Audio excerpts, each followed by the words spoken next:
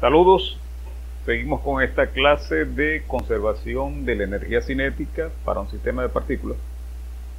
Y continuando, esta sería la, segunda parte de cuatro partes que tiene esta clase. Y vamos a hacer, a empezar haciendo una definición. Vamos a llamar EKCM a, con esto vamos a denotar a la energía cinética del sistema respecto al sistema de referencia del centro de masa. Y la vamos a llamar energía cinética interna para el sistema de partículas. Y además, eh, si recuerdan, con U solamente estábamos denotando a la energía propia. Y ahora tenemos aquí U, INT, que para nosotros va a ser energía interna, va a ser la suma de la energía cinética interna, esto que tenemos acá, más la energía potencial interna. ¿Ok? Esto va a ser nuestra energía, eh, nuestra energía interna. Vamos a hacer un par de ejercicios. En esta parte vamos a, vamos a resolver esto y después terminamos el segundo. Ok, y el ejemplo que vamos a hacer acá va a constar lo siguiente. Vamos, una vez que tenemos la definición de la energía cinética respecto al laboratorio, como se acostumbra a llamar, y la energía cinética respecto al sistema de referencia del centro de masa, en este, en este ejemplo vamos a hallar una relación entre la energía cinética respecto al laboratorio y la energía cinética respecto al centro de masa para un, para un sistema compuesto por solo dos partículas. ¿Está bien? Ok. Eh, bueno, para ello lo que vamos a hacer es lo siguiente, vamos a, eh, a buscar las expresiones que me definen cada una de estas dos cantidades. La energía cinética del sistema de partículas va a ser la energía cinética de la suma de cada energía cinética. Por aquí de la partícula A, un medio de MA por BA cuadrado más un medio de MB por BB cuadrado. Aquí estas velocidades están referidas al laboratorio y la energía cinética interna va a ser, fíjense que la expresión es, la contraparte de esta que está acá, pero en lugar de tener un medio de MA, de por BA cuadrado, tenemos un medio de MA por BA prima cuadrado más un medio de MB por B prima cuadrado. Aquí con BA prima y con B prima estamos denotando en este caso la magnitud de las velocidades respecto al sistema de referencia del centro de masa. La estrategia que vamos a usar para encontrar esta relación, una relación que queremos, ¿sí? va a ser expresar esta cantidad en términos de esta cantidad. Ok, aquí aparecen las magnitudes. Lo que sí yo sé es que las velocidades como vectores se pueden relacionar de esta manera. La velocidad de la partícula I respecto al laboratorio va a ser igual a la velocidad de la misma partícula ahí respecto al centro de masa más la velocidad del centro de masa. Aquí I representa cada una de las etiquetas que le hemos dado a las partículas, en este caso A y B. Entonces, por supuesto, BA va a ser igual a BA' más B centro de masa y lo mismo para B sub B. A partir de aquí yo voy a elevar esto al cuadrado para obtener las energías Voy a colocar aquí A y elevo al cuadrado y obtengo, cuando la multiplico por acá, la energía de la partícula la energía cinética, perdón, de la partícula y la mismo, la, la otra parte para la partícula B. Pero la relación es entre vectores en este caso.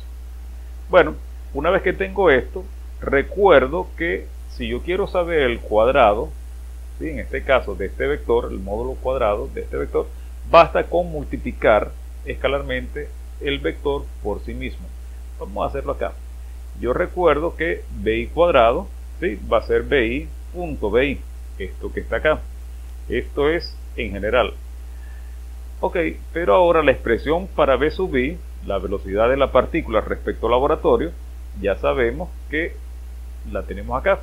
Entonces va a ser igual B sub I, este B sub I que está acá, lo sustituimos por este B sub I colocamos el punto de multiplicación escalar y volvemos a escribir b sub i. Y ahora lo que hacemos es, ok, eh, efectuar la multiplicación escalar entre este vector y este vector, sabemos que esto es distributivo frente a la suma, este, este producto escalar. Entonces me quedaría b sub i punto b sub i, que en este caso le escribí directamente b sub i cuadrado, más, ok, el segundo término sería, que aparecería, sería b sub i punto b centro de masa, aquí está, más el tercer término que sería b centro de masa punto b sub i, aquí está, y el último término sería b centro de masa punto b centro de masa, ok, aquí está este de acá. Aquí pudo haber escrito directamente b centro de masa al cuadrado, no lo hice, pero bueno, ahí está. No está malo, pero bueno, pudiera ser un poco más consistente con esta parte. Ok, seguimos. Ya tengo el módulo cuadrado de las velocidades. ¿Está bien? Entonces, esto va a ser igual, aquí me queda que b sub i, módulo cuadrado, va a ser igual a 2 ds. Fíjense si, si nos devolvemos acá para darnos cuenta de que aquí hay dos términos que son exactamente el mismo. Este término, BI punto centro de masa, es exactamente igual a B centro de masa punto B sub i. Aquí falta un prima, aquí, no, perdón, aquí falta prima. ¿Está bien? falta prima, pudiéramos colocarle aquí prima. B, B prima, BI prima punto B, B centro de masa va a ser igual a B centro de masa punto B sub i. Sabemos que el producto escalar es conmutativo, en este caso de vectores reales. Entonces lo que vamos a tener es dos veces esta cantidad. Ok, y eso es lo que tenemos acá. Tenemos que el módulo cuadrado de las velocidades va a ser igual a esta parte que tenemos acá. Fíjense que esto está respecto al sistema de referencia del laboratorio y esta prima que está acá lo que hace es enfatizar o denotar la magnitud de esta velocidad pero respecto al sistema de referencia del laboratorio. Y esto fue lo que nos quedó. Aquí volvemos a decir que I va a tomar los valores de las etiquetas que tienen las partículas que en este caso son A y B ok como sabemos que la energía cinética es la suma de estas energías cinéticas, ¿ok? la energía cinética de la partícula A más la energía cinética de la partícula B, ahora lo que voy a sustituir lo que es B sub A cuadrado y B sub B cuadrado, utilizando esta expresión de acá. Y sustituyendo la A, ¿sí? donde está la I, voy a colocar una A en la, primera parte y después una B. Entonces me queda acá un medio de la masa medio de la masa, b a cuadrado, entonces escribo acá toda esta expresión de aquí, desde aquí hasta acá, b sub a, 2da punto b centro de masa más b centro de masa cuadrado. ¿Ok? Y ahora repito el procedimiento para la energía cinética de la partícula B, un medio de la masa de B sub B, ¿sí? que multiplica a BB', me voy a guiar por acá, por esto de acá, B, B sub B' al cuadrado, eh, más 2 mm, b b prima punto b centro de masa más b centro de masa cuadrado. Este punto acá no esto era porque estaba sumando hace un momento y, bueno quedó.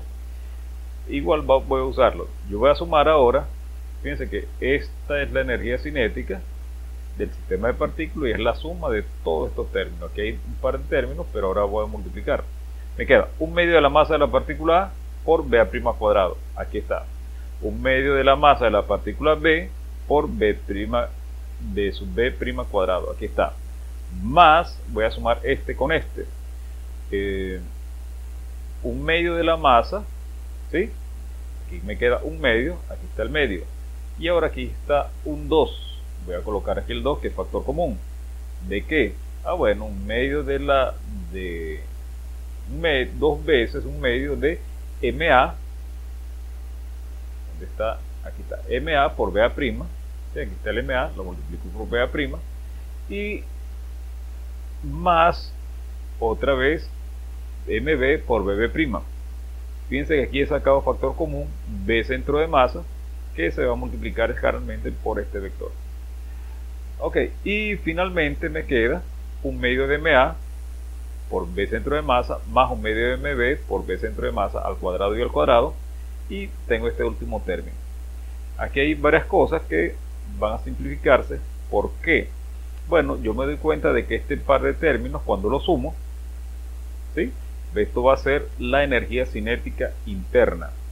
Además de eso, esto que está acá lo voy a identificar con el momentum total del sistema y esto que está aquí va a ser la masa total del sistema. Vamos a ver qué nos queda acá. Ok, lo que le estaba diciendo era que la suma de estos dos términos me da, la suma de este término más estos dos términos me da la energía cinética interna. Ya tengo la primera parte.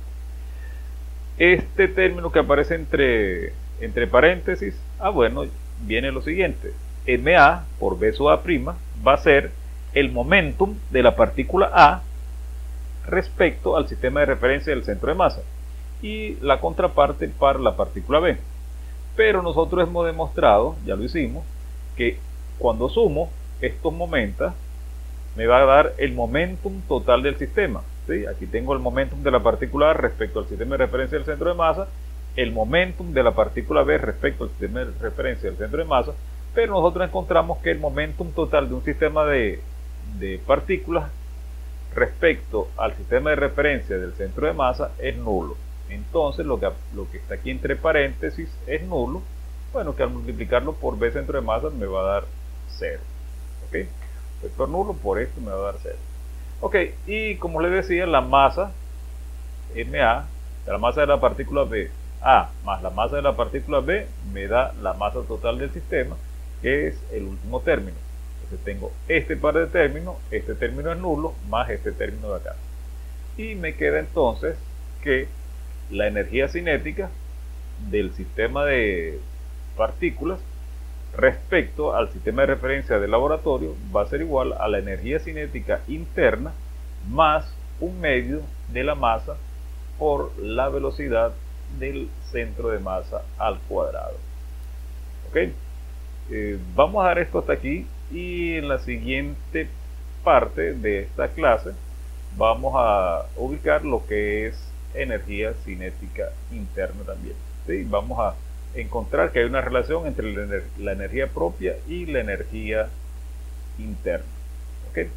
Lo dejamos hasta acá.